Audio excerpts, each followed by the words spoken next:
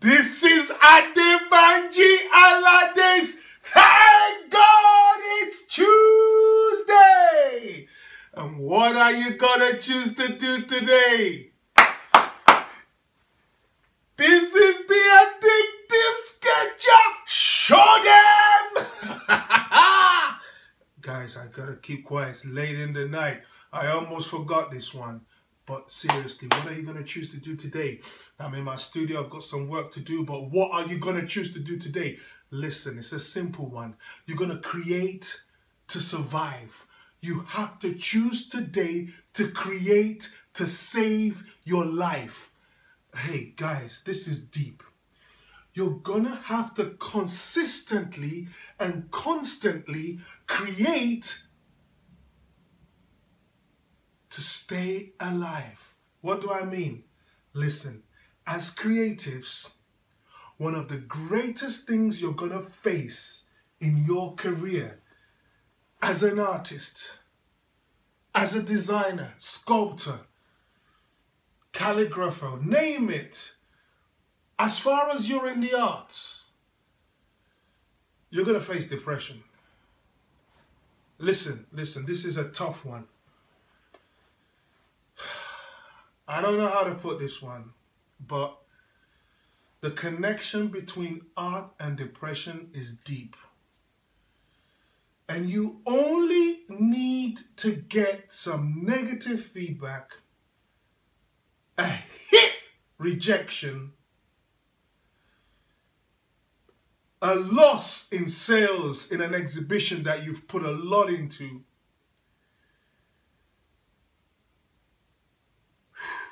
the list can go on. And you know what's going to happen?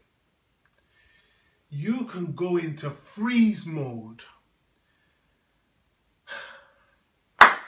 Guys, I'm saying what has happened to me. I've seen it all. This is the side you don't normally hear about.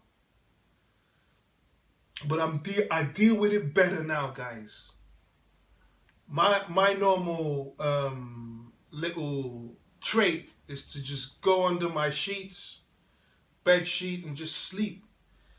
When I'm not even tired, it's just like I don't want to face reality. Sometimes it's hard, hard to take, especially when it comes to a rejection. I've been through it.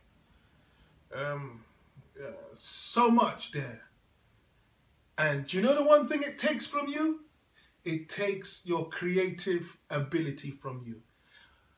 But that's the only thing that keeps you alive. And so, no matter what you're going through, yes, give yourself the allowance to grieve, to depress, to feel low. Yes, I would rather you grieve it. I'm not against going low. But guys, you need to get back as soon as you can and start creating.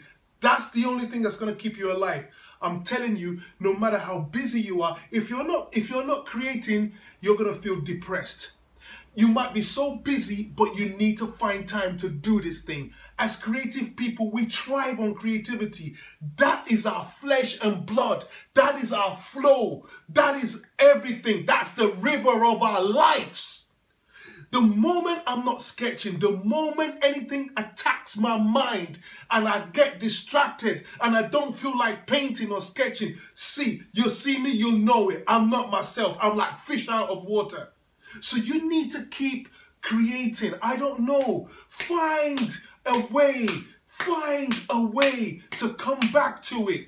Maybe you're going to experiment with a new medium. Maybe you're going to go to a gallery. Maybe you're going to go with a friend and share a day out. But get creating.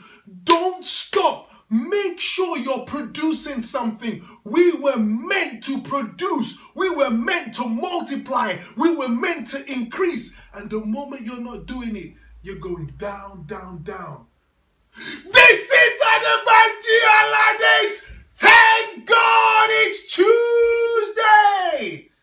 And this is a silent one. And what are you going to choose to do today? You're going to keep on creating to keep alive. Thank you guys. Woo!